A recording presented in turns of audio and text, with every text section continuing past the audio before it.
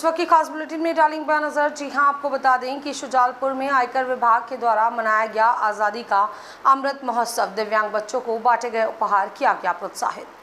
स्थानीय विश्राम गृह पर आयोजित समारोह में बाल श्रवण योजना के तहत क्वालिनियर इम्प्लांट सर्जरी कराकर बोलने सुनने में सक्षम हुए मुखबधिर बच्चों के साथ। ऐसा बच्चों को भी पुरस्कृत करते हुए उनकी हर संभव मदद करने का आश्वासन दिया गया।